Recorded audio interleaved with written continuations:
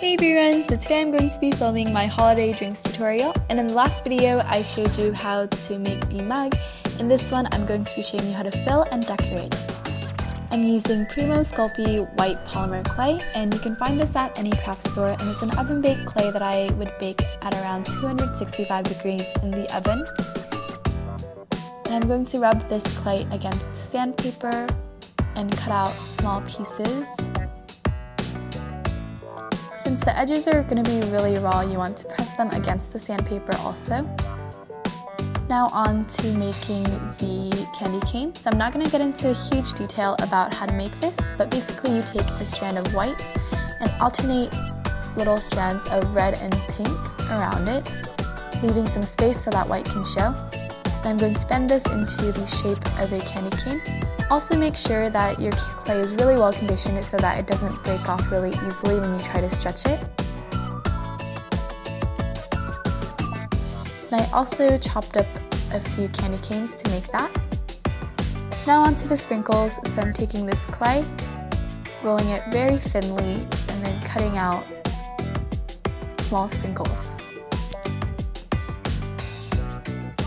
Now I'm using an icing tip and using also a dotting tool to push out white clay mixed with a clay softener. And you're going to shape this into some whipped cream-like shape. And those dollops I show how to make in a different video, so I'll leave the link for that down below. And the gingerbread man I actually didn't use in this video, which is why I didn't show it. Now it's time to make the liquid portion of the drinks. And I'm using translucent liquid Sculpey and mixing in chalk pastels. And use a white base because you want it to be opaque. And also make sure that these are chalk rather than oil pastels because there's a huge difference in consistency.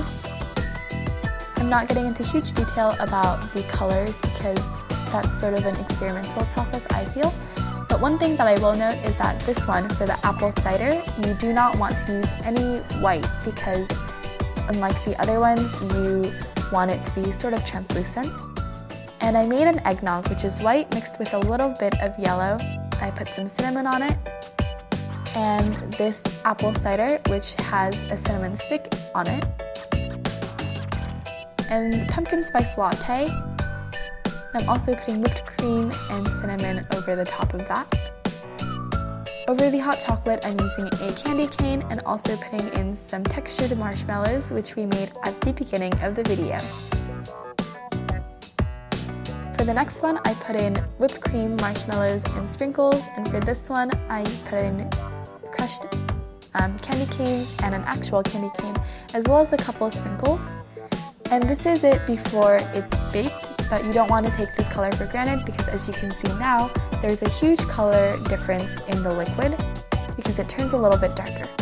So I hope you enjoyed this video. If you'd like to request any more videos in the future, then let me know and I'll try my best to make it. Please like this video if this was helpful because that always helps me out a ton. And thanks for watching.